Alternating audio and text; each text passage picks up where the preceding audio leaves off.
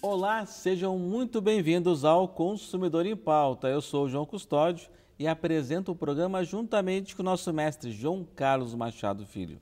Você que nos assiste já, já sabe que o programa é de utilidade pública, com muita prestação de serviços, com muitos esclarecimentos aos nossos telespectadores.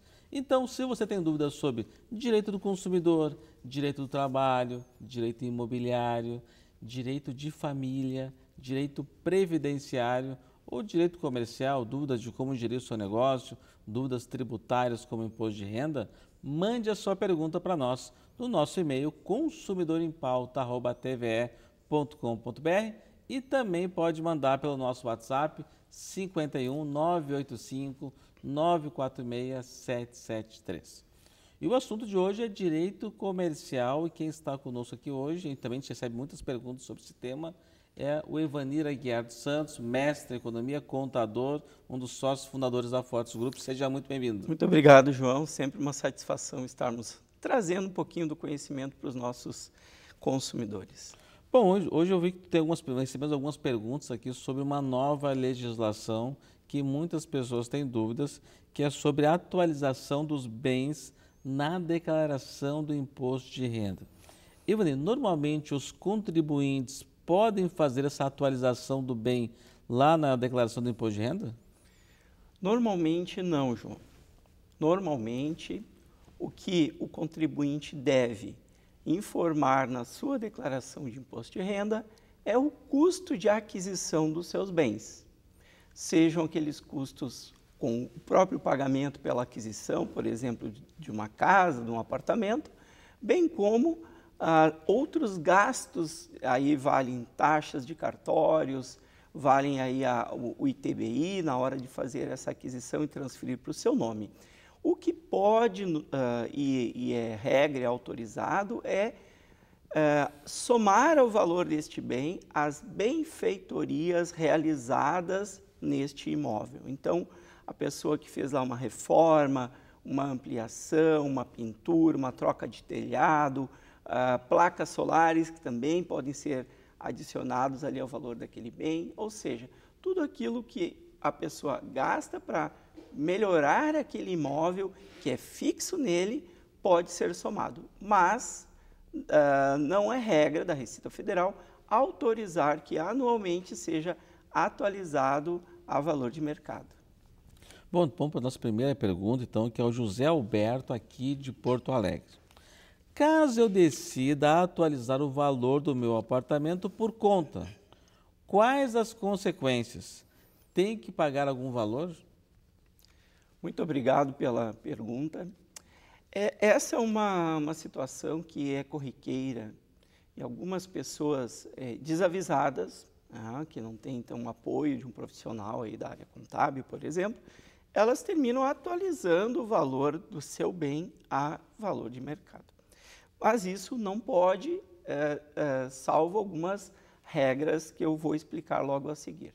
Bom, consequências de fazer essa atualização. A primeira delas pode ser uma multa e impostos que a Receita Federal, ao analisar a sua declaração e verificar que aquele imóvel sofreu, então, uma atualização sem o eventual pagamento do imposto, que é uma consequência, e sem alguma benfeitoria, porque isso deve ficar explicado naquele campo da declaração de imposto de renda da pessoa, onde tem a descrição do bem. Ali é o local onde a pessoa que efetuar benfeitoria deve adicionar ali os valores, o ano que aquilo aconteceu e guardar a notinha lá por até cinco anos. Então, a primeira consequência são multas e impostos que a própria Receita Federal poderá atribuir sobre essa atualização. Segunda questão é a fiscalização e auditoria da própria Receita Federal. A sua declaração de renda poderá, a partir daquele momento, ser a, acompanhado mais de perto pela Receita Federal. E isso poderá trazer prejuízos, porque a Receita vai, é, poderá colocar em malha fina os próximos anos. O imposto sobre o ganho de capital. Bom, A pessoa que decidir, definir que vai fazer esta atualização, ela poderá, mediante o pagamento de um imposto é, chamado é, ganho de capital. Esse imposto ele é calculado através de um programa da Receita Federal, então o contribuinte, naquele momento que ele fizer a atualização, ele deverá recolher então esse imposto para a Receita Federal. Temos ainda algumas questões legais aí judiciais e que dependendo do que é essa movimentação que o contribuinte fez na sua declaração atualizando os bens sem o referido imposto, a Receita Federal poderá inclusive levar para uma questão judicial, tanto de sonegação ou outro crime. Bom, agora temos a pergunta da telespectadora Daniele. Como faço o cálculo do imposto a pagar na atualização da minha casa na declaração do imposto de renda?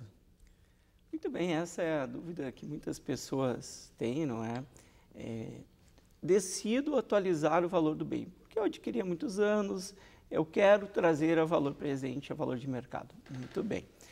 Uh, nesse caso, é importante conhecer o custo de aquisição, ou seja, todos aqueles gastos para fazer a compra daquele bem, as benfeitorias que somaram-se ao valor do bem e o valor da venda ou o valor da atualização que se deseja. Né? A partir desse momento, através da utilização de uma declaração que a Receita Federal disponibiliza, é, pode ser baixado no computador, chamada GCAP, que é Declaração de Ganho de Capital, através desta declaração e do preenchimento de todos os itens que solicita, a operação, se é de venda, se é de permuta, a, o comprador, os dados do comprador, os dados de aquisição, como vai acontecer essa operação, se é uma venda à vista, se é uma venda a prazo. Uh, através disto, o programa calcula então a diferença entre custo de aquisição, valor daquela negociação e se encontra o ganho de capital. Sobre este ganho de capital, então, há a incidência de alíquotas, porque o valor, o percentual uh, a ser aplicado sobre este ganho, ele é progressivo. Quanto maior o ganho, maior será esse percentual. Por exemplo, até 5 milhões do ganho, a alíquota é 15%. De uh, 5 a 10 milhões é 17,5%. Lá de 20, uh, 10 milhões a 30 milhões de reais de ganho, 20%. E acima de 30 milhões, então a alíquota é 22,5%. Então a alíquota é progressiva dependendo do, do ganho, do valor do ganho. Então se eu comprei um imóvel a 100 e vendi por 200, eu tive um ganho de capital de 100 mil. Exatamente. Nesse caso, vou pagar 15% de 100 mil, 15 mil reais então, de ganho de capital. É, temos algumas outras variáveis, mas, via de regra, é exatamente isso. Bom, agora temos a pergunta do Luciano. Como não posso atualizar o meu apartamento, como fica quando eu quiser vendê-lo? Muito bem, Luciano. Essa é a, aquela pergunta clássica, não é? Como é, faço para vender né, algo que eu tenho registrado na minha declaração já há bastante tempo, com valor defasado? Apesar de, na minha opinião, é, ser que nós é, deveríamos ter uma permissão de atualizar anualmente, pelo menos pela taxa de juros de mercado, pelo que a Selic, né, que é a taxa de juros oficial, mas infelizmente nós não temos essa autorização. Então haverá a necessidade de apuração é, do seu ganho de capital, então utilizando a declaração GCAP e preenchendo todos aqueles itens que a gente informou anteriormente. Custo de aquisição, a operação, valor da venda, como vai receber esse valor e aí ah, o próprio programa vai gerar o ganho e o imposto a ser pago. Porém, você poderá estar enquadrado em uma das condições que lhe tornam isento de pagamento do imposto.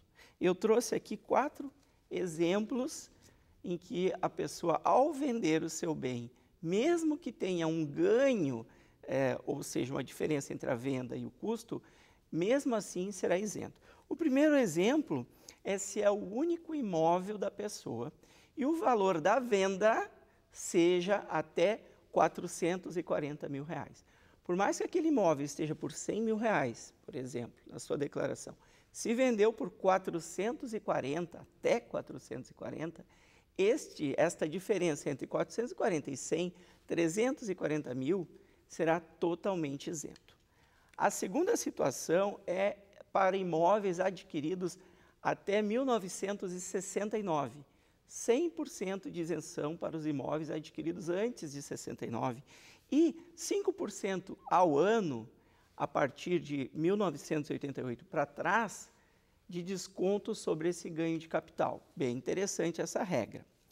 Reinvestimento. Se a pessoa adquirir, uh, ou melhor, vender o seu imóvel e tiver a, a decisão de aplicar todo ou parte desse recurso na aquisição de outro ou outros, podem ser mais de um, pode ser mais de um, em até seis meses, até 180 dias, o valor do ganho de capital na venda do imóvel também é isento.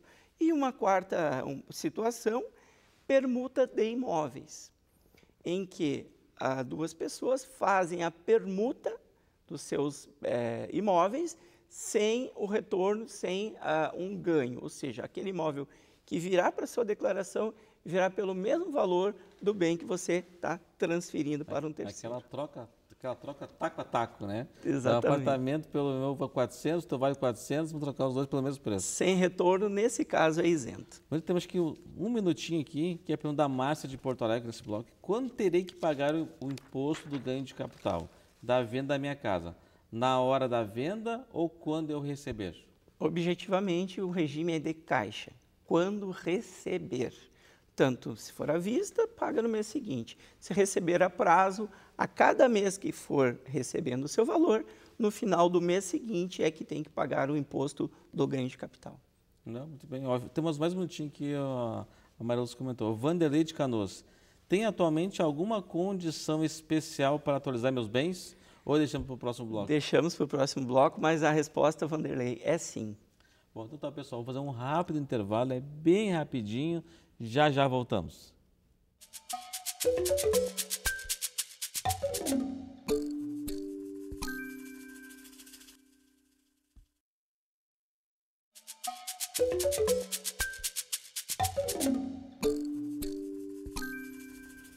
Bom, falei que era bem rapidinho, já estamos de volta. Lembrando você que nos assiste que o programa aqui é de utilidade pública com muitos esclarecimentos aos nossos telespectadores. Então, se você tem dúvidas sobre direito do consumidor, direito do trabalho, direito imobiliário, direito de família, direito previdenciário ou direito comercial, não fique com dúvidas. Mande a sua pergunta para nós no nosso e-mail consumidorimpauta.tve.com.br ou também pode mandar pelo nosso WhatsApp. Aproveita, já salva no seu aparelho. É o número 51 985 946 773. E que hoje estamos falando sobre direito comercial, mais precisamente questões tributárias a ganho de capital. E quem está aqui conosco hoje é um grande especialista no tema, Evanir Aguiar, aqui conosco. Bom, então, então vamos repetir a, primeira, a última pergunta do bloco anterior, que é uma pergunta um pouquinho mais, mais complexa e é uma grande novidade que você acha que o Evanir vai trazer para nós hoje, que é o do Vanderlei de Canoas.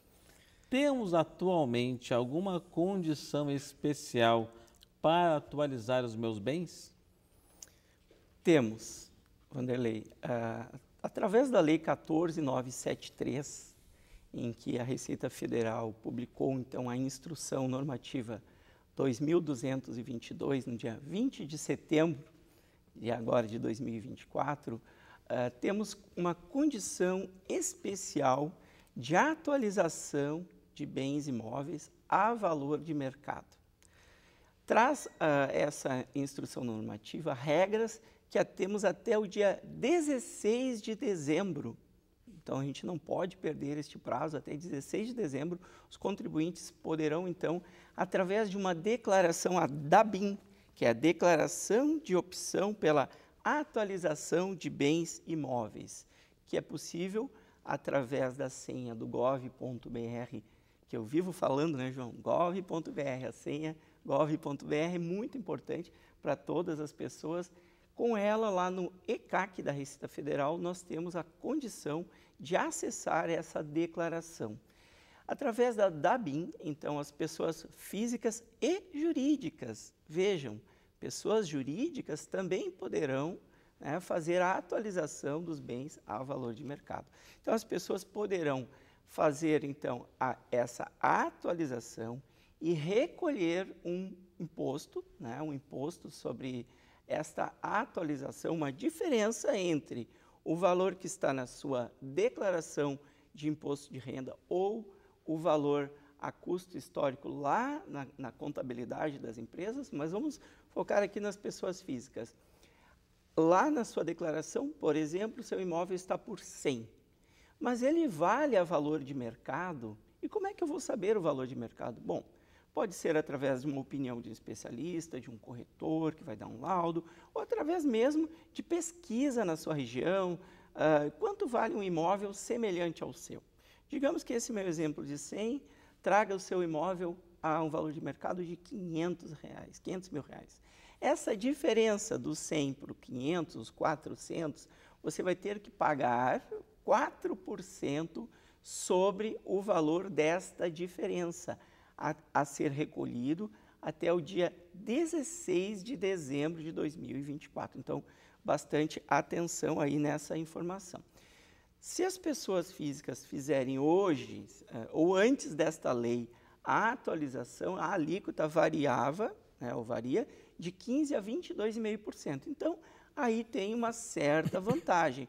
Logo em seguida, eu vou explicar que tem que cuidar, ter bastante atenção porque tem algumas regras importantes a serem observadas, que é o tempo que a pessoa terá que permanecer com este imóvel até que seja vendido para que tenha, para que vale a pena e, e tenha algum benefício este pagamento antecipado deste ganho pela diferença. Bom, agora temos a pergunta da Karine, aqui também de Porto Alegre. Como faço o cálculo do imposto a pagar da atualização da minha casa usando essa lei atual? Muito bem, muito obrigado. É, o cálculo é o mesmo do ganho de capital, onde a pessoa vai é, procurar lá na sua declaração aquele bem que ela deseja atualizar ou os bens, vai analisar o custo de aquisição que está na sua declaração. Muita atenção, se a pessoa não ou esqueceu ou não declarava algum bem, a este bem ele tem que estar, constar na sua declaração. Então, esse é um primeiro detalhe bem importante. Então, é, verifica se o valor que está na sua declaração faz uma análise a valor de mercado, quanto que vale este um imóvel semelhante ou meu imóvel, se eu tiver um laudo, mas a lei não obriga a ter nenhum laudo, não obriga a ter nenhuma comprovação de que aquele valor que eu estou declarando ali é realmente um valor que um, um técnico, uma pessoa especializada definiu, pode ser um valor de mercado. Posso pesquisar na minha região quanto vale o meu bem. Através de uma, uma conta matemática da diferença entre o valor de mercado e o meu custo que consta na minha declaração de imposto de renda, esta diferença, então, é que eu vou aplicar aquela alíquota, aquele percentual de 4% sobre uh, essa, essa minha atualização e fazer o recolhimento do DARF. F uh, fazendo o pagamento deste DARF, ele é definitivo, eu não, não tenho como alterar, ajustar depois de, de 16 de dezembro. Então, bastante cuidado.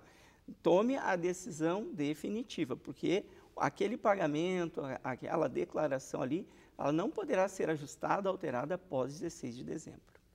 Bom, então a vantagem, na verdade, é que tu tem uma tributação normal de 15% e se tu vai usar a lei, tu vai pagar 4%. Então tu teria uma economia aí de 11%. Exatamente, bem importante. Mas aí temos alguns cuidados aí bom, importantes. Bom, tem agora a pergunta do Rogério aqui de Porto Alegre. Quais cuidados que eu tenho que ter para vender daqui a um tempo? Rogério, a sua pergunta é a, talvez a mais importante que a gente vai responder hoje aqui. Por quê? A pessoa que fizer esta atualização a valor de mercado do seu imóvel, ela vai pagar 4%. Mas digamos que daqui dois anos ela decida pagar, uh, vender o seu imóvel. Essa regra, essa instrução normativa e esta lei, ela, a lei, a instrução 2222 e a lei 14973, elas trazem consigo uma progressividade de desconto no ganho de capital, em que você só será 100% isento após 15 anos, 180 meses. Até 36 meses você tem zero de desconto naquele ganho de capital. Então é muito importante o cuidado que você tem que ter é ao tomar esta decisão de fazer a atualização a valor de mercado, cuidar para que se fizer a venda deste imóvel daqui a alguns anos, você vai ter que calcular o quanto que é o percentual de desconto que você vai ter sobre o ganho de capital. Então, a cada ano, este desconto no ganho de capital, ele vai aumentando até chegar no 100% e aí terá valido muito a pena esses 4%. Então, o cuidado especial que a gente tem que ter é vou vender o meu imóvel daqui dois, três anos, não faz essa atualização. Outra situação em que a pessoa não tem nem que cogitar e atualizar o seu bem a valor presente. A pessoa que tem um imóvel adquirido antes de 1969, porque ela já tem 100% de desconto no valor da, do ganho que ela vem a ter. Então tem que ter bastante cuidado. E aqui é aquele momento que eu digo: procure um contador de confiança, procure uma pessoa que vai fazer todas as análises da lei fazer uma simulação. E se eu vender daqui três anos, daqui 10 anos, daqui 15 anos? Nós vivemos num país em que muda governo e essas mudanças de governo poderão né, trazer alguma dificuldade para você no futuro. Então, bastante cuidado com essa decisão. Então, a, a diferença é bem grande, de 15% para 4%, mas para ter esse benefício total, teria que esperar 15 anos. 15 anos, exatamente. Então é recomendado para aquela pessoa que tem um imóvel residencial que não tem intenção de vender logo. Por exemplo, que... que tenha como uma fonte de renda de aluguel, né? Que queira permanecer aqui com aquele bem por bastante tempo. Bom, temos a pergunta agora da Yasmin de Porto Alegre. Somente os bens no Brasil que podem ser atualizados? Porque hoje em dia tem muita gente que tem casa em Portugal, tem gente tem casa na Argentina, no Uruguai, alguns mais abastados também têm casa nos Estados Unidos, né? É, Yasmin, é, eu não sei se é o seu caso, como o João trouxe aqui, né, que tem algum bem no exterior, ou cliente, né, porque recebemos é, bastante perguntas também de colegas, então, é, contadores. É, sim, é permitido também atualizar bens no exterior, João.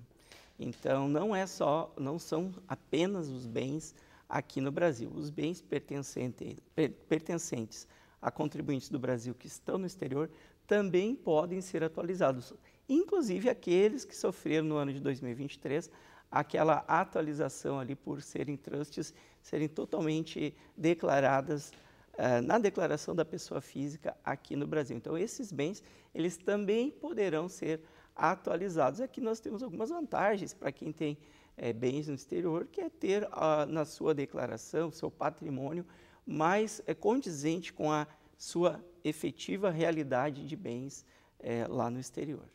Muito bem. Ter a pergunta agora da Adriana, aqui de Porto Alegre. Como informo na declaração de imposto de renda que vendi o imóvel e tive um ganho? Bem importante este cuidado, né? É um cuidado é, principalmente na, na, na fase, né, na época de declaração do seu imposto de renda, é, que tem que fazer. Primeira coisa, você já terá apurado o ganho lá na sua GCAP. Essa GCAP, a declaração de ganho de capital, permite exportar para sua declaração de imposto de renda.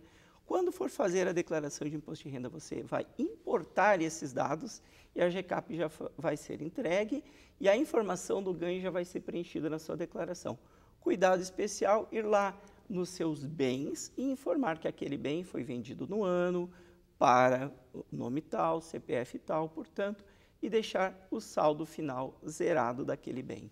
Não, muito bem, então acho que é uma lei que tem algumas muitas críticas, mas ela traz um benefício para quem está realmente pensando em vender daqui a um tempo. Exatamente. Bem importante é analisar caso a caso os seus bens, qual bem que vai ser atualizado e contar com a ajuda de um profissional contador. É, essa, essa GCAP é um, um, um sistema que tem que ter um pouquinho de conhecimento para preencher, né? Exatamente, João. Às vezes chegam algumas redundâncias. Eu já fiquei algumas horas preenchendo uma GCAP. Então tá, Evandro, muito obrigado por teus ótimos esclarecimentos. Também agradecer o pessoal de casa pela sua audiência. Obrigado, uma boa semana. Tchau, tchau.